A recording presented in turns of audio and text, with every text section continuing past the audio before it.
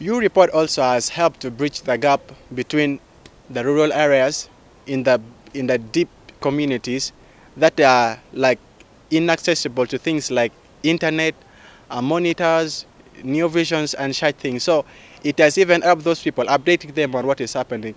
So really, we see it's of a good it's of a good effect in our country and in our communities.